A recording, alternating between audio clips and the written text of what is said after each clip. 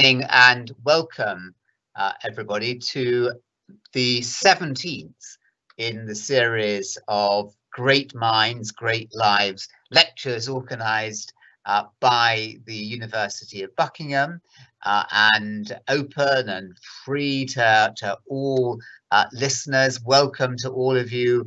Um, many uh, uh, philosophers of all different ages, Philosophers Foundation, uh, people across um, uh, across the country and indeed beyond. Um, the audience tonight will be uh, significantly over a thousand. Uh, do have your questions ready, and I will pick questions that um, obviously listen to the talk, uh, but have them uh, ready during the talk. If you have a, a name and can make the question as short as possible because it's easier then to get through as many as possible. Um, to say to all of you uh, that um, it's really wonderful to, to have you here. Uh, a big difference uh, with uh, listening to Julian talking um, a, at a literary festival or philosophy lecture is that we can see inside his room. So on the series, uh, we often begin just by asking the writer, the thinker, to comment uh, about uh, the room in which they're being filmed and is this the room where they think and write? So Julian, first question to you before you begin your talk tonight to us. Uh, thanks, Anthony. It's lovely to be able to do this talk. Well, this room actually is usually my other half's room, um, but I often work in a glorified shed in the garden. But um, I, I, do sometimes use it myself, and it's a bit better closer to the Wi-Fi, so it's the place to to be if I want to do anything remotely. And do you do your your writing and thinking always in front of a, a computer, or are you uh, thinking? Uh, uh, do the ideas come when you're walking about? Yeah, I think that's a good question. I think it's very important to to do different things, do different activities. Um, there's a very good book actually. I think the author's Mason Currey um, called I can't remember what it's called now, and it's about the habits of artists, creators, and thinkers. And what's so interesting is actually if you look at the number of hours of the day they spend directly doing what they're supposed to be doing, it's the average is about I'd say three to five, mm. and almost all of them do things like go for a walk, do something to break things up. And I think we all know that's how things work. You have to let things stew in, in the back of your mind. So so definitely a, a mixed life is, is is very important. I think if you want to ever think well. Absolutely fascinating. Well, uh, enough, uh, and let uh, your tonight's talk, Julian, commence. Thanks, Anthony. So I, I, chose a kind of title global philosophy at a time of global crisis because I was going to speak about global philosophy, which is interesting for me because you know, I've been in philosophy all my adult life. But until very recently, that was 99% Western philosophy, which is entirely typical for anybody who is uh, doing philosophy in the Western environment, that the subject is almost defined in terms of that tradition.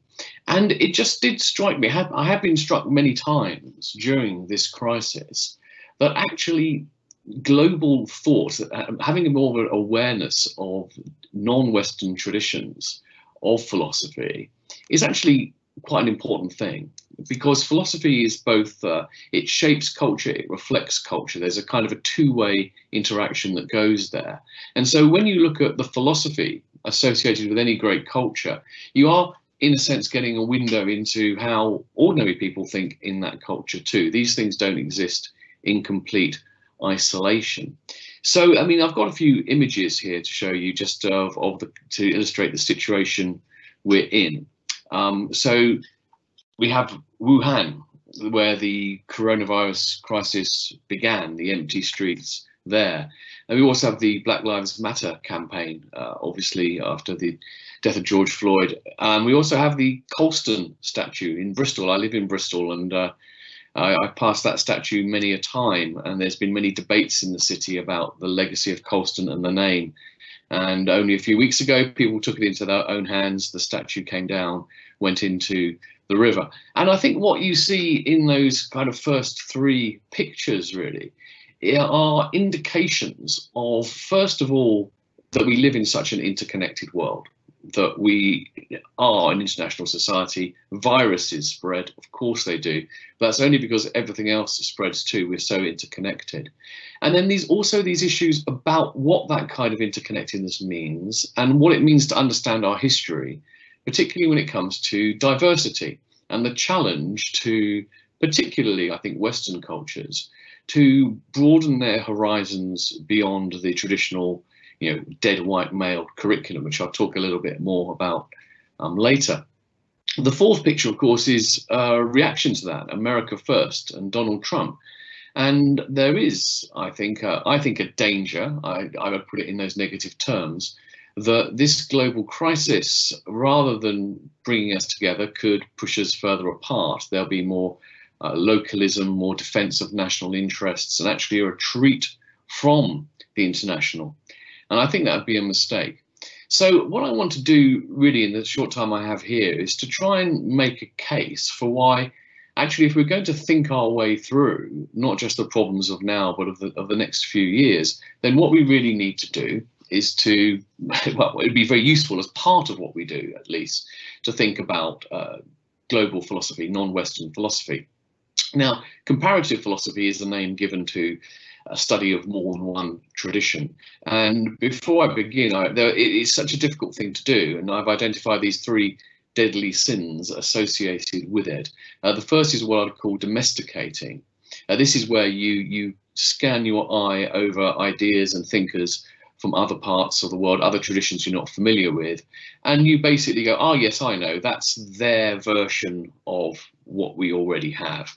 So in other words, it's kind of not taking seriously the idea that there might be genuinely original and different and interesting ways of thinking in other cultures, to see them all through the sort of translating lens of your own culture, and to therefore miss out on what could be genuinely new and informative.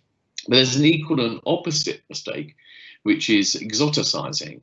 And this is where people treat other cultures than their own as though they were somehow, often in a very, I supposedly positive way, as being so different, so exotic, so wonderful that it's almost like we can't learn anything from them. Uh, I think you often hear this, uh, cliche I often hear, is that people say that Indians are such a spiritual people. And to a certain extent, I can see what people mean by that, if they mean that spiritual and religious matters are typically more at the heart of daily life in India than they are in the West. That's true, but the but sometimes it almost sounds as though Indians are kind of a separate sort of species, attuned to a higher plane, and not really concerned with with material matters, which is clearly absurd. So it's about sort of negotiating those between those two equal and opposite mistakes, taking difference seriously, but never exaggerating it. And the third mistake is what I'd call essentializing. This is where one kind of believes that there is a Chinese way of thinking, an Indian way of thinking, a Western way of thinking, and not to acknowledge the diversity within those traditions. Now, this is, very difficult when we're talking broad brushes about Chinese thought, Indian thought, Western thought. It is indeed possible to make generalizations, but it's very important that those generalizations do not go over the top and do not become essentializing. So to, to give a, a, simple example of the difference, everyone knows what it means to say that uh, men are taller than women. Uh, as a generalization, that's about averages, and it's perfectly true. If you were to think it meant that all men are taller than all women, of course it would be absurd.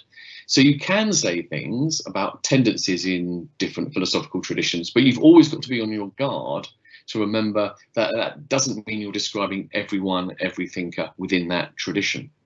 Now, the most important thing, actually, I, I think to bear in mind when thinking about non traditions other than your own, is captured in this quote from, from Tom Kasulis, which is actually probably the most useful thing that I came across when I was doing my own uh, study into comparative philosophy for my book. Um, what is foreground in one culture may be background in another. It sounds like a very simple statement, an obvious one even, even, but it means something quite significant. I think we tend to think in terms of dichotomies. So we tend to think that, for example, the, the, the West is individualist and the East is collectivist, that the West is materialist, the East is spiritual. And there are other sort of dichotomies like this. Now, Kasulis's point is really that's always a mistake. Rather, what you see is that there's very, very little, perhaps nothing, which is entirely unique to one culture and entirely absent in another. But it is certainly true that at different times and in different places, different things get put in the foreground and other things go into the background. And that's so important, I think, for learning from other cultures. Because what it does is when you look at uh, comparative philosophy, and if you were to look at other comparative cultures in any other way too, the way you learn is not trying to borrow some completely alien idea and to sort of import it into soil where it won't grow it can be a way of making you attend to what is perhaps too much in the background in your own tradition or what is too much in the foreground and help us towards potentially some kind of rebalancing. So I'm going to give just a little example of that, if I may, which my next set of pictures is going to um, give us some illustration of. Now, I mentioned before how there's this stereotype that the East is collectivist and the West is individualist. And I think that getting this right and seeing why there's something a bit wrong about that is really, really important. And I particularly found this uh, in Japan and, in studying Japanese uh, literature, but it's and philosophy, but it's also something I think you see all across East Asia. So the first picture I have here is a, a very famous shopping district in Tokyo.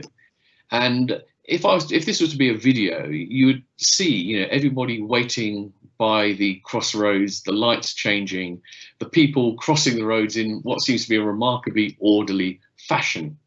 And from a vantage point like this, it kind of looks like you know crowd behavior. It looks like it's a exemplification of that collectivist sort of mentality in which the individual is lost in the group.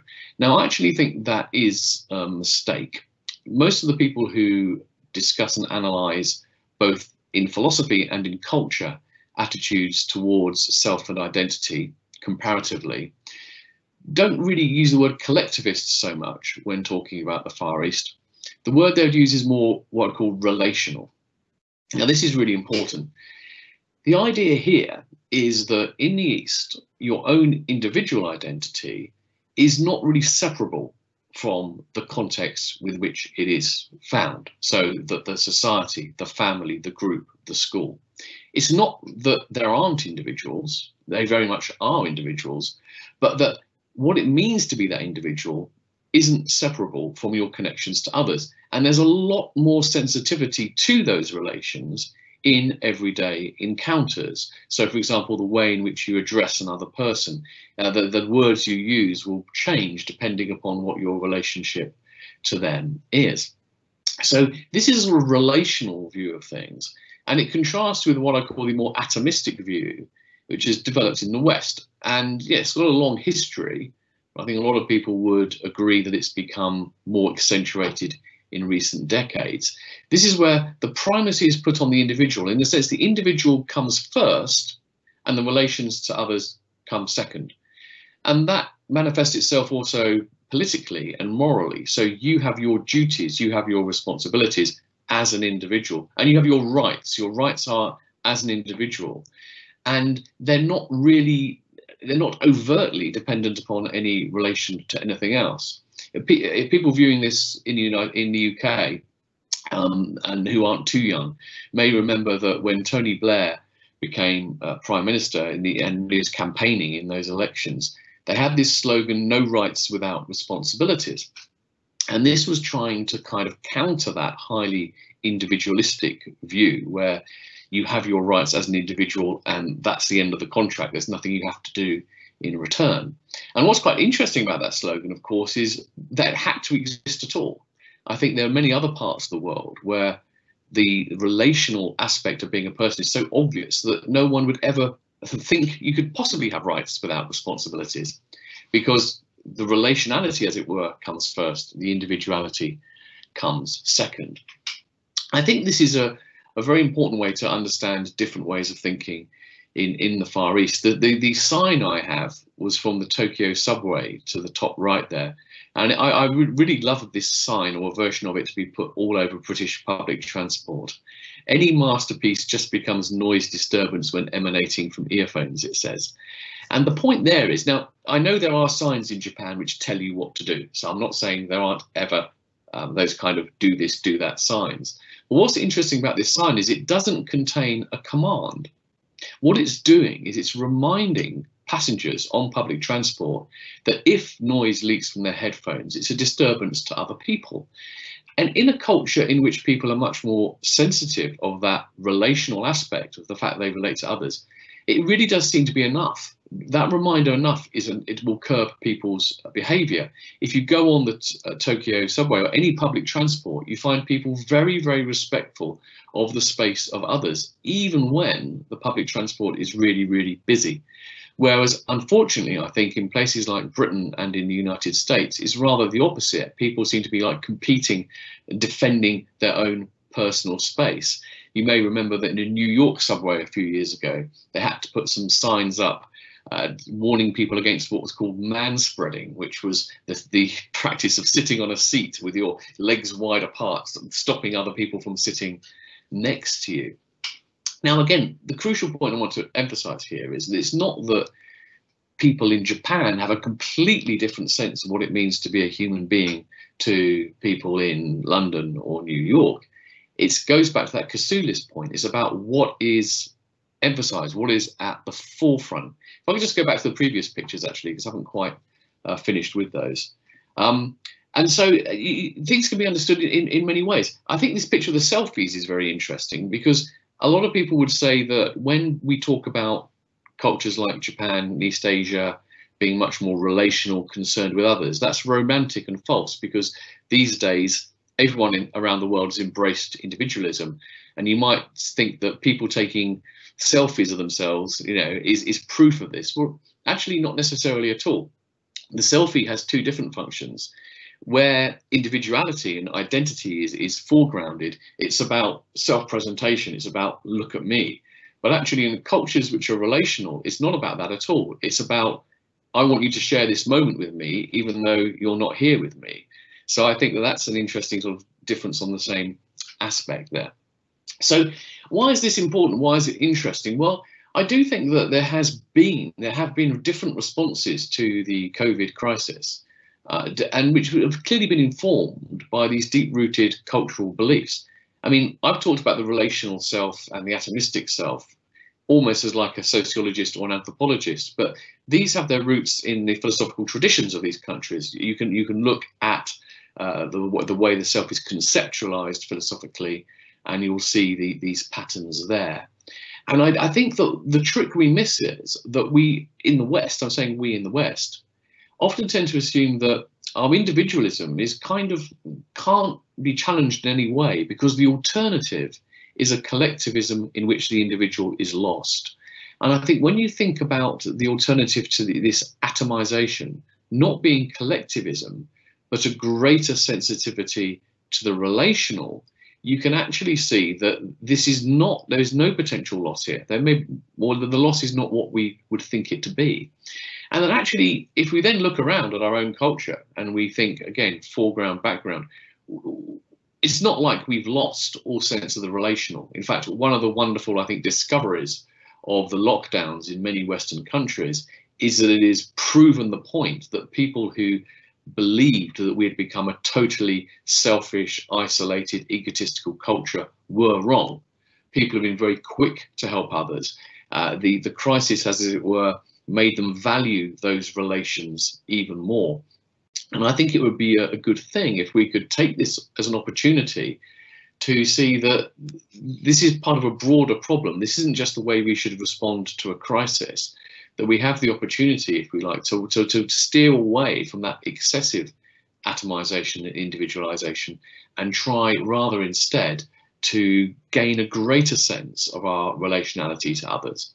And I actually think that there are times where, almost paradoxically, the when you give more to the relational, you actually can become more of an individual.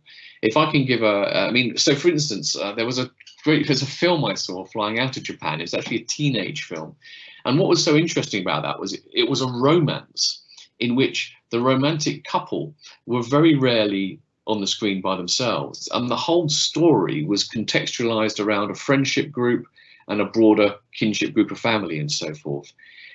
But those those characters were nonetheless very, very distinctive individuals. It was like within that relational arrangement, their individuality could come through.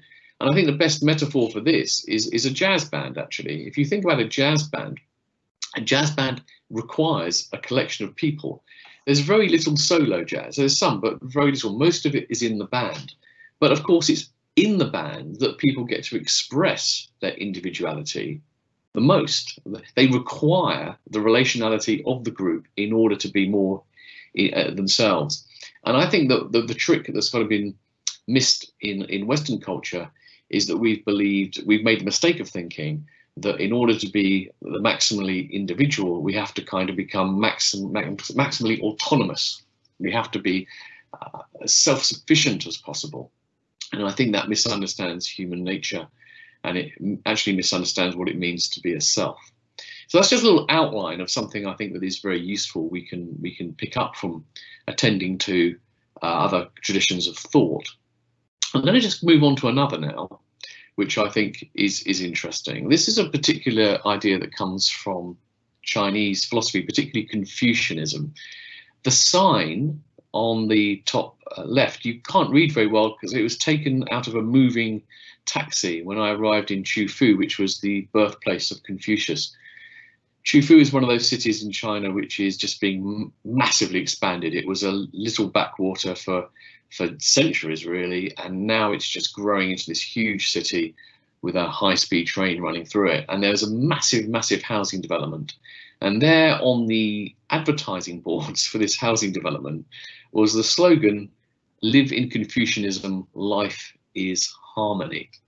I thought that was very interesting, and I have this challenge, which is if someone can show me a housing development in, in Britain or America, maybe maybe other European countries too, which uses a philosopher's words in order to try and sell it, then I'd be very, very surprised. Um, that this in itself shows you the depth of the Confucian culture in China.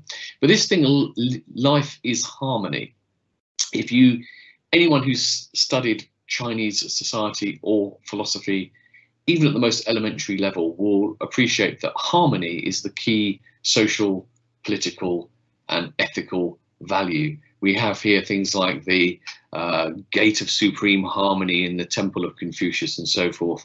Uh, and, and there, there are various halls of harmony in the Forbidden City. The word is ubiquitous in official pronouncements, government documents, and so forth. So what is this thing called harmony? And why is it so important? And, and by the way, I would say that I think that harmony is as central to the Chinese conception of the good and ethical life as ideas of liberty and freedom are to the modern Western imagination. I think people are suspicious of this, though, because their image of China, of course, is in its past as a very hierarchical society and in its present a very uh, authoritarian one. And the harmony really means know your place and keep your place. So the picture in the bottom left is of a couple overlooking the Forbidden City, but actually to be a commoner in that position in various times of history would itself have been a death sentence because harmony required people sticking to their place in the social order and they weren't even allowed to look at the Forbidden City. Well, if harmony meant simply that, it wouldn't be, it would be interesting to know about to help to understand the Chinese way of thinking, but it would not be something to learn from. But I think it is something to learn from because actually in the classical Confucian tradition, harmony certainly doesn't mean just pure obedience and it doesn't mean sameness. So one of the most famous metaphors and images for explaining what harmony means is that of a soup. And I have an example of one to the side here, which is assorted meats and organs, congee. Um, a soup manifests harmony not when it has just a single ingredient, and that's a very boring, bland soup. It manifests harmony when it has a combination of different elements the broth, the vegetables, the herbs, the spices, the meat, and so forth. And it's in the combining of them that you get the harmony. And not surprisingly, the other great image to explain this is a musical one as well. You don't get harmony in, in music. We don't get a beautiful piece of music by one instrument playing one note or 10 of the same instruments playing the same 10 notes. It's different instruments playing different lines of music, which all come together. Now, this sort of ideal of harmony, it's true that in traditional Chinese society, was very much maintained in a very strict way, uh, particularly family relations and ruler uh, subject relations. But that's not inevitable. And even in the ancient tradition, it certainly was not suggested that people should be blindly obedient. So, for example, a son had a duty to remonstrate with his father if he saw his father doing wrong, for instance. And similarly, in the if you read the Analects of Confucius, uh, there are many times where it's, it's made clear that it's the duty of the, the advisor to challenge the ruler if necessary. But the point about harmony being so important is that it's actually a way of thinking about the solution to the fundamental problem of a harmonious society, which is that a society contains difference and you have to manage that difference in some way. Now, I think that in the individualistic Western society, in which we've just seen democracy as the easy solution to that problem, we're encountering problems with it. That it's not really working because what you have in a democracy are the problems that were foreseen by people like Aristotle and Plato, who were perhaps too dismissive of democracy, but nonetheless saw real dangers, which is that you can't, if you have a situation where simply the majority wins and the minority lose, that creates a divided society.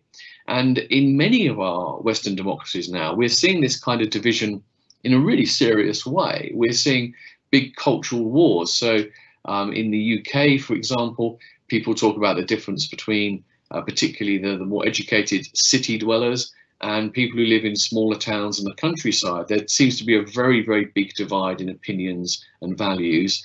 And in America, the polarization between the red states and the blue states seems to be stronger than ever. And this is an inherent problem of democracy. And the, the, the problem becomes larger, I think, because people have expected that their rights as autonomous individuals and citizens and consumers is to get what they want. And of course, that's not, it's never possible for everyone in a society to get what they want. They need to have compromise. So the value of harmony, now the point is, it doesn't exist. It's not a, it's not a concept. If you study political philosophy or political science in a Western university, no one will ever use the word harmony. Now, of course, that's not because we don't value it. It's again, it's there in the background. Once you start to articulate what it means, everyone gets that it's a good idea to have this harmonious society, and it does require the, the careful managing of difference. Um, what the Confucian tradition gives us is a, is a way of conceptualizing that and thinking about it as something which we might be able to put more in the foreground and think about as a means of trying to resolve a lot of the real problems around division uh, that we have. And if we go back to issues around uh, diversity, Black Lives Matter, and so forth, I think that there are certain solutions to that which don't work because they're based on re-emphasizing the differences between people, the kind of identity politics, the kind of identity politics which basically becomes a kind of zero-sum game. It's one group against another. I'm not saying all identity politics is like that. It seems that the only solution really you can have for a society in which there are diverse groups with diverse interests is not to sort of like let the majority win. And nor is it actually simply to sort of like divide and rule or to sort of like segment society up, but to try and find that way of harmonizing society uh, and in the way in which you get a good soup or a good music, a good piece of music does. And that's a challenge. And I think one of, the, one of the good things about these analogies is if you think about great music, good cooking, there's a kind of a skill there. There's not really an algorithm for it. Sure, you've got a musical score and you've got recipes, but to create these things in the first place requires a kind of imagination which um, goes beyond the merely procedural. So I think with these ideas of harmony and the relational self, I think we have ways in which I hope illustrate thinking about non-Western traditions of philosophy is actually extremely informative, not just helping us to understand cultures different from our own, but ways of turning the, the, the mirror, as it were, on ourselves and seeing where some of our problems might lie and what some of the solutions might be. Now, the last thing I want to talk about very briefly, and I'll move on to the next set of pictures for this, is this issue I alluded to earlier. Uh, people talk about this decolonizing of the curriculum, the idea that with the Black Lives Matters movement, uh, what it's really illustrating is a is a deep need for a to deeply challenge the standard curriculums and what we teach in in our universities to reflect better the diversity, not just within our own societies, but I think internationally. And I think these things can't really be separated. Sometimes these seem like entirely national issues, but I think that you know the marginalization of other cultures is deeply connected with the marginalization of minority groups within a culture. And I think that once you start to look at this, whatever your instincts may be about wanting to defend the great traditions of Shakespeare and so forth in our in our schools and universities, it becomes patently obvious very quickly that there's something deeply wrong about the way we teach. So here's a simple illustration of this. I've got three pictures here. We have this uh, the Indian Machiavelli is often called this Chanakya or Kautilya, who is 375 to 283 BCE. And he's called the Indian Machiavelli. There's also a Persian Machiavelli, Nizam al-Muluk. He was 1018 to 1092 CE. Machiavelli, not the European Machiavelli, Niccolo Machiavelli, came, of course, long after both of these. But this is the sort of, it's both the ignorance of people from non-Western cultures who were equally interesting, equally important, and had similar but importantly different ideas. Um, not only are we not aware of them, when we are aware of them, we call them the Indian Machiavelli or the Persian Machiavelli because we're seeing things entirely through the primacy of our own culture. I think that is a problem which we need to wake up to. And there was a very interesting article which um, I've got a little picture of here in the New York Times many years ago from Jay Garfield and Brian Van Norden. These two have been arguing for a very long time that philosophy should diversify its curriculum. And they wrote this piece in the New York Times uh, Stone blog, which got a lot of attention because, in a way, they, they sort of gave up. What they said was, okay, don't diversify your curriculum, but at the very least, have the honesty to call your curriculum Western philosophy. Don't leave out the Western. If you're only going to teach Western philosophy, call it Western philosophy. And this sparked a big debate, and I think it is leading to change. Van Norden wrote a book, Taking Back Philosophy, uh, really on the back of this.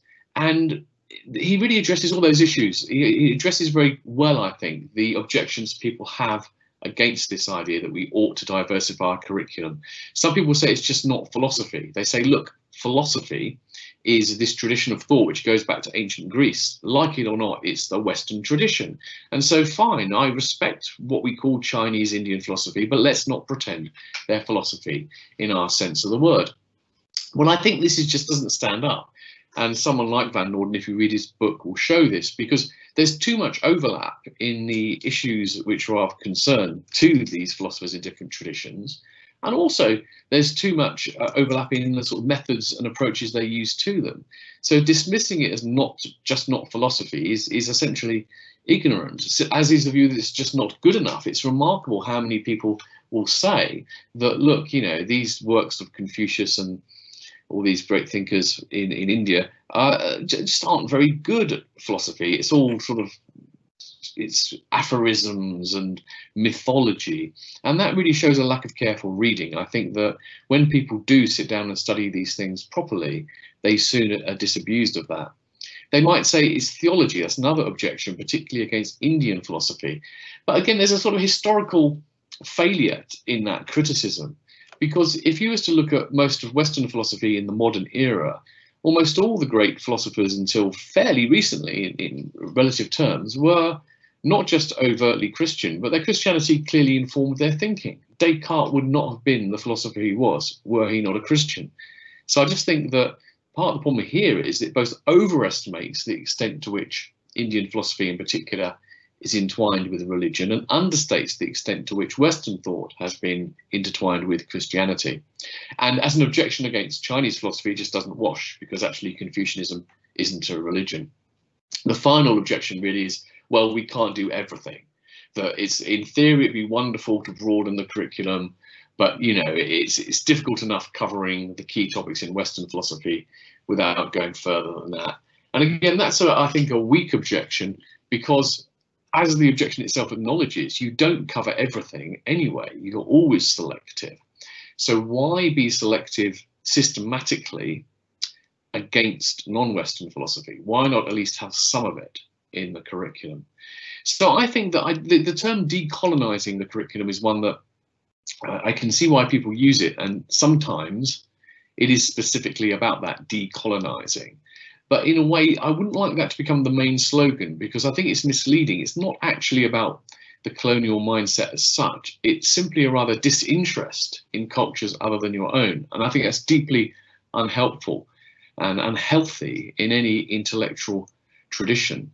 So I think that hopefully I've sort of sketched out a case here, and it is only a sketch, of why we should be looking beyond our own traditions and why that's actually not only important, we can the current crisis, I think, has provided some illustrations of why that's useful and important, but it's going to be important way beyond that too.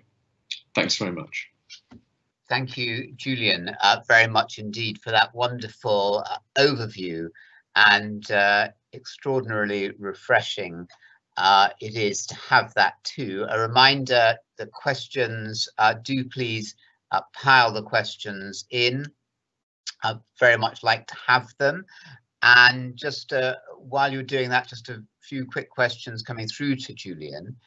Um, when I studied philosophy as part of my degree, um, I then um, left and came down back to, to, London to write a doctorate and started meditating, Julian, uh, with a uh, Hindu Sanskrit mantra. And I found that infinitely more uh, enriching and stimulating than the arid linguistic philosophy, uh, which I studied and was made to feel very unintellectual for raising that. Um, and so, when did uh, this? Uh, who were the early forerunners of, of, of, of you? Um, and when did you yourself start to recognize that maybe the West's obsessive obsession with its own uh, navel, um, uh, and that might be going too far for you, um, uh, is not enough, and, and there should be a, a more of an open interest in other philosophies. Yeah, no, it's, it's a good question. I mean, I have to say, you know, one no one likes to think they have a closed mind, and I did make some early attempts. I mean, I started a philosophy magazine, the Philosopher's Magazine, back in 1997, and we were very open to the idea of having non-Western philosophy. But we did find it difficult to do, and I think one has to appreciate that when you're not familiar with a tradition and you're just presented with something, it can seem strange and difficult and not the kind of thing you do. But of course, at the same time, why should that be surprising? If if someone who is not familiar with Western analytic philosophy picked up a paper by, say, a Donald Davidson, they would be completely baffled too, and might suspect it of being sophistry or or whatever. So I did have a go, but what persuaded me actually, I think, uh, really got me converted was that you, uh, you, you, probably do know Nicholas Berggruen, who's launched his Berggruen Institute. It's been going in various forms for quite a long time and he's trying to promote global understanding and culture. And he organized a number of different workshops, which I was lucky enough to attend. And it's it's really it's that it's that close encounter when you, you you're around a table with people from different traditions, and you can just see that they have interesting things to say on the same subjects that you've been interested in, coming from a different angle. And I think that really fired up. That's what really fired up my interest and made me think that in a sense, I'd run out of excuses for being so ignorant of all these other traditions. So last night's speaker, Julian, some of you will have been listening in, was Julia Samuel, who is um, the leading, a leading bereavement uh, therapist, counselor, wrote Grief Works amongst uh, other books. And uh, she said, look, there isn't one self. We are a collection of, of different people. We're different people with different others and in different situations. So uh, my own experience, uh, having meditated for 40 years, is that there is just one uh, self, uh, which is the Atman, which is not, in fact, um, uh, individual. Uh, it is uh, a universal sense, which and it also resides outside time. Now you can't think your way into that. You can only get there by doing it. Um, so can you talk about the difference between knowing uh, that uh, th there was a specialist in, in Western Buddhist philosophy at Sussex I spoke to a lot. She knew an awful lot about the practice of Western Buddhism, but she never, and I asked once, had she practiced Buddhism, had she been on silent retreat? Oh, no, no, not in your life. No, that's not, that's not for me. Uh, what, what's going on there?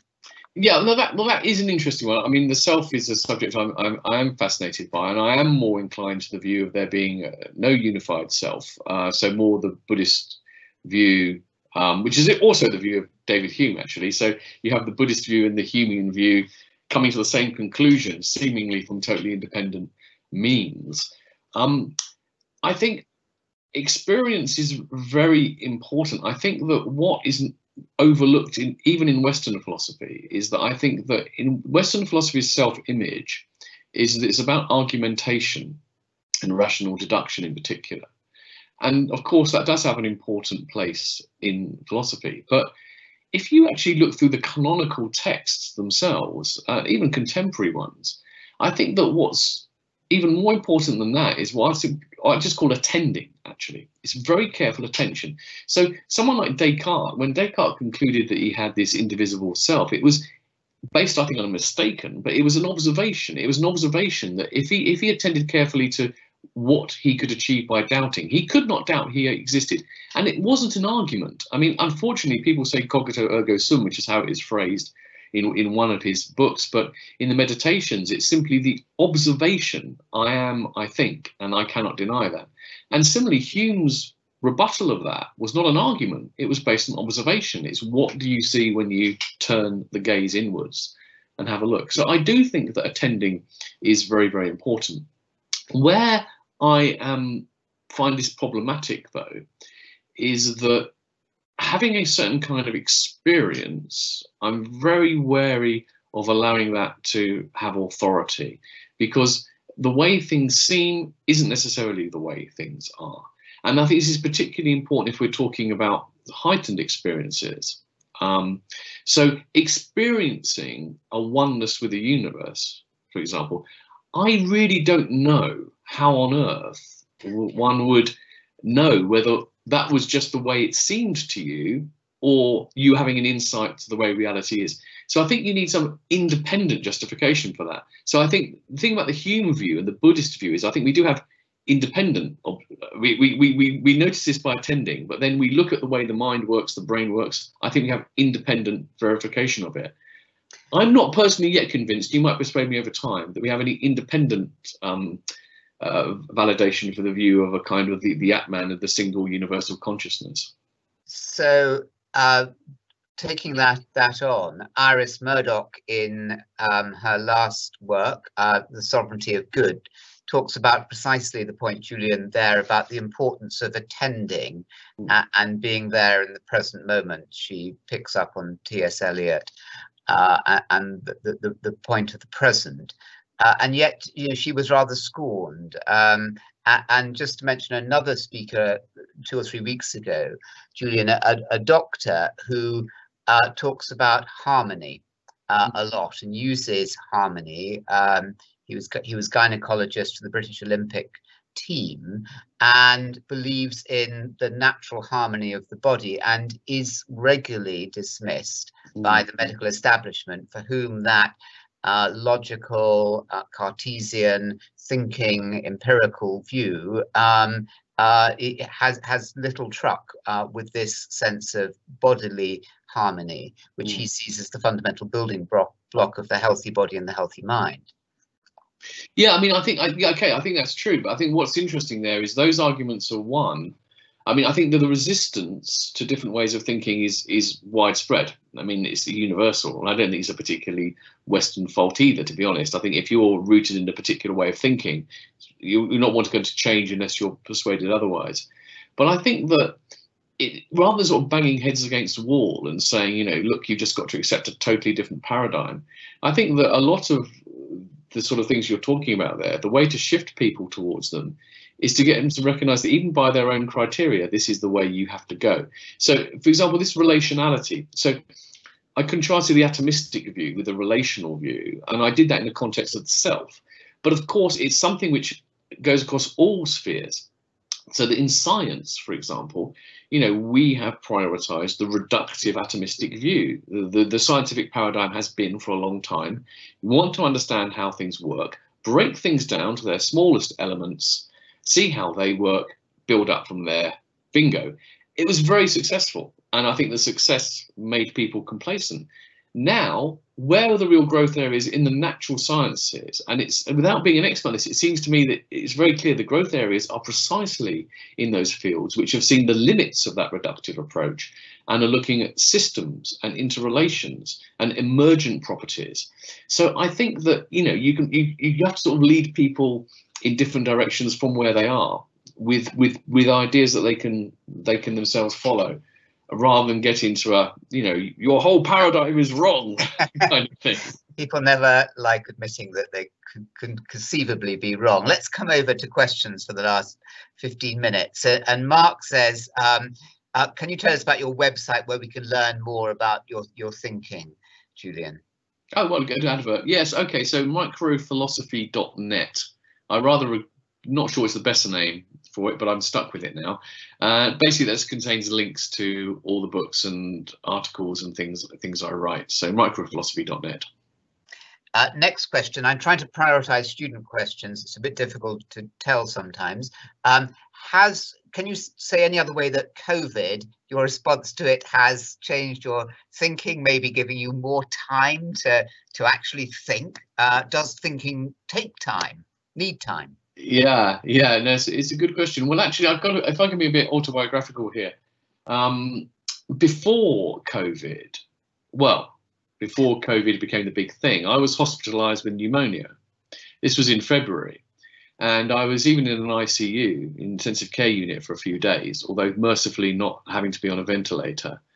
Um, I still don't know if I had COVID. I rather suspect I did, but it's not been tested. And so I kind of like was a bit ahead of the curve here, really. So out of hospital, I was still kind of in isolation, not seeing things. It's just kind of continued. And I do think that it, it did affect me. It did make me. It, it, I think it's become a bit of a cliche that people say it's got them focusing on what matters most matters in their life. And but I think I think it has done. And I, I think for me, time, the time to think is so important and I, I think that, like a lot of people, I've allowed myself to live in too hurried a manner and not given myself the time that's needed to really think. Because as we were saying right at the beginning of the talk, actually, to think effectively, you need time where you're doing nothing in particular, or you're doing something that's not intellectual. You're just going for a walk, or whatever it is, or you're chopping vegetables, whatever it might be again, that kind of Hume talked about the mixed kind of life. He called it as being the most appropriate for a human being. Not all work, not all study. So I think it has really, um, it has really put that into focus for me. Uh, I'm skeptical of myself and other people though, in the sense that I know how easy it is to slide back into old habits once things resume. So it's going to take an effort to keep this going. It's quite simple at the moment because I can just turn down travel invitations. Well, they're not happening, but you know, there'll come a point where people will ask me to start traveling again to do things. And I have to be much, much more careful before I say yes.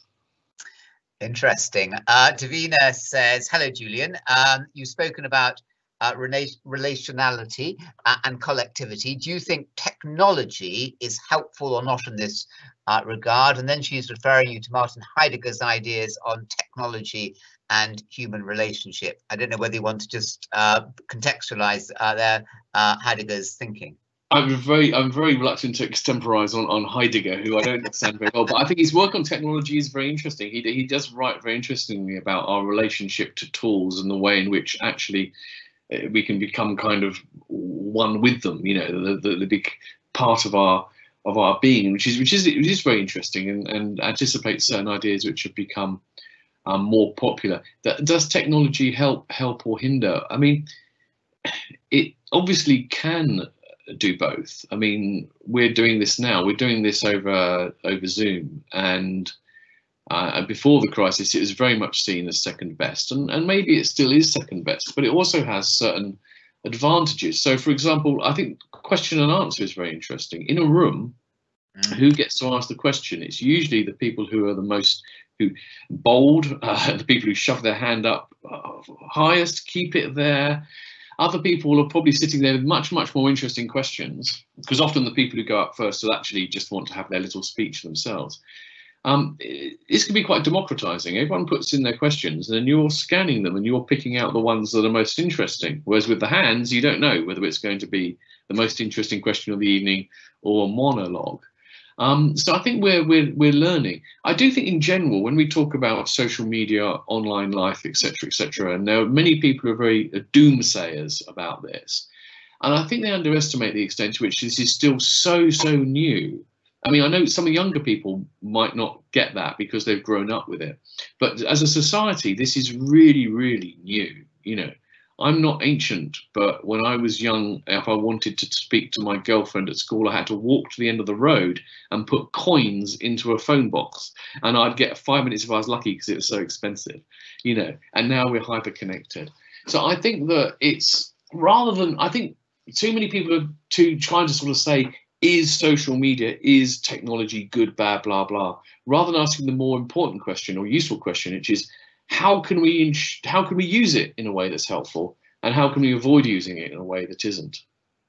I should just say that Julian is our philosopher on the Institute for the Ethics of AI in Education and comes in with these very profound comments uh, and he's not putting his hand up saying saying ah uh, the way that uh, uh, that students can. Karen says um, uh, okay so you, uh, you're one of the best known philosophers but do you think you're a great philosopher? And if not will you become a great philosopher no no i'm not. I mean i think that um, it's very nice of her to say that but i i i think you know you have to sort of know your own strengths and know your own own weaknesses. Mm. and I, I don't think i have that factor x which is that capacity to just you know have blinding original insights. But what i think i can do quite well um, is, is is make connections between things and apply them and and show where they're most useful and I think that's, you know, and that, that in a way I'm sounding modest because I'm saying I'm not a great philosopher, but I think that's actually an important job too. So if I can do that well, I, I'm, I'm rather praising myself. And I think that again, our culture, our educational system isn't very good at rewarding that. I mean, I think, you know, universities, as well as having uh, the, the narrow specialists, narrow specialists get a bad name. They're very important. But why don't they also have a large number of what you might call synoptic academics who, whose, whose job is actually not to have a single original idea in their whole life, but to join the dots. Because at the moment, you know, we have lots of brilliant dots and hardly anyone joining them, and hardly anyone capable of joining them because their training is all about um, the study and creation of dots. So, um, yeah, I'm an explainer and a synthesizer and an applier, I, and that means I will never go down in history as one of the great philosophers. Well, Luke, in a very harmonious way, there, Julian, is picking up and saying, How would you like to be remembered uh, as a philosopher, uh, as an author, or um, as a great communicator? So that's oh, kind right. of how would I be remembered? This makes me feel like I'm on the verge of. Uh, does he? Does he know something about oh, my? Obviously, uh, I was thinking of, uh, of, your being in the ICU there back in February. Yeah, yeah. I mean, it's interesting. Yeah. I mean, I, I actually don't genuinely don't think too much about that. I'm not too worried about how how I'll be remembered. I, I think that it's vanity. It's vanity to believe I'll be remembered uh, for any length of time by anyone other than the people I most knew and loved. So, I mean, if I think about how I like to be remembered, I think about how I like to be remembered by people who really, really knew me, and I like to be remembered as a, as a, as a decent human being, really. And I think that's our primary challenge. Um, it's, it's, it's, quite, it's more difficult to be one than than we assume. We all think we're decent human beings, but it's it's a bit of an effort. Question picking up on last night. Um, uh, the speaker Julia Samuel said uh, no one ever dies, they always live on. Um, in what sense does somebody live on? There are quite a few questions now coming towards the end. Oh, well, that's a very good question because, again, if we go back, we talk about this, the sort of Hume view of the self as being somewhat uh, a bundle of sensations and ideas that we don't have this unified sense. I think that that view of the on that view of the self, can, it kind of makes sense of the idea we have of how we actually do overlap with others. The the people you're close to. I mean, it's interesting, isn't it? Interesting that as a figure of speech, when someone dies who you're very close to, people will say, "I've lo- I feel like I've lost a piece of me." Yeah, and we take that to be a, a beautiful metaphor, but actually, I think we should take it a bit more literally. You know, we are not as contained within our own bodies as we think. We, who we are is deeply connected with other people, and it's therefore true that we do live on in that sense in other people, and other people live on in us. And um, uh, question there about Wittgenstein. If Wittgenstein was the greatest British philosopher of the 20th century, uh, what did he actually say? What's changed because of Wittgenstein? Oh, well, uh, not British. I mean uh, European philosopher. Okay, well, this this is this is this is a different one for two minutes, isn't it? I do I do rate Wittgenstein. Less than that. You've got about one minute on that one. Wittgenstein is a very divisive figure. Um, I am a, a, great admirer of him. And I think that what I think Wittgenstein really achieved in his later philosophy was he he he was I see him as in the same tradition as people like Hume and Aristotle in a way, who were resistant to the idea that the most important things in life could ever be entirely nailed down or captured in formulas and algorithms. And that the very language we use you know is is not this precise logical tool that philosophers think it is. It's something which has ambiguity and is defined by its use. So i think wittgenstein is one of those philosophers you know there are philosophers who try and sort of uh, lifted up to the stars, and there are those who bring it down to earth in the right way. And I think he brought philosophy down to earth in lots of important ways. I recommend his book on, on certainty. It's a very good short book.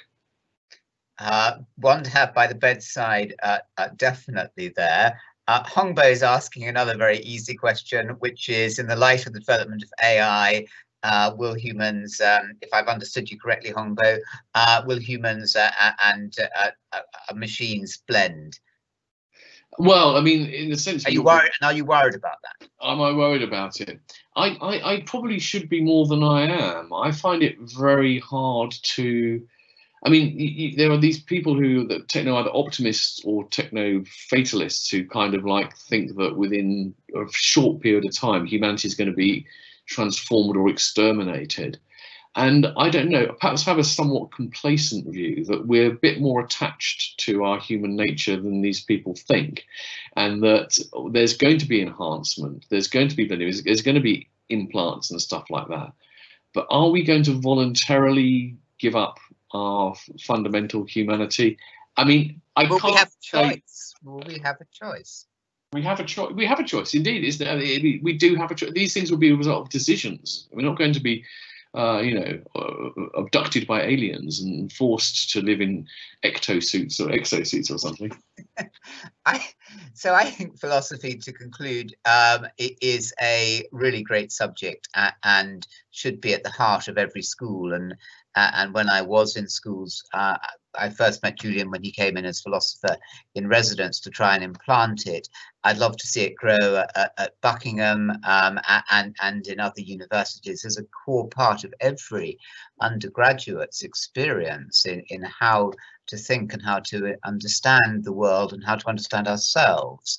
Um, uh, before I thank Julian, can I mention tomorrow night Paul Johnson uh, on the economy, and then next week uh, Robert Skidelsky, Keynes's uh, biographer, Katya Adler of BBC, talking about um, the future of, of, the Brexit and, and the EU. Max Hastings uh, talking about Churchill. Um, so, but Julian, that was absolutely riveting. Um, we had a thousand plus people uh, listening to. Thank you, all of you. Uh, for those listening in, do uh, uh, log in, do, do let people know about Julian's work, do visit Julian's uh, website. um, uh, do look look into other talks and spread the information. Tweet about the talk so that other people can come in. But Julian, you, you um, you've absolutely uh, passed on explaining and making philosophy not just understandable but so attractive and, compelling uh, uh, uh, to people. If you can do that over this technology think what we could do if we were in the room with you. And i'm sure that you will go on and, and make that mark perhaps by um, harmonizing and being the person who brings together um, uh, with the three um, uh, cautions you had at the beginning, um, uh, philosophies uh, uh from around the world uh, as we come into the 21st century. Uh, that is what you'll get the Nobel Prize for Philosophy in. Um, Julian Baggini, thank you so much from all of us. Absolutely wonderful. Thank you. Thank you, Anthony, and thank you for everyone for tuning in. Appreciate it. Thank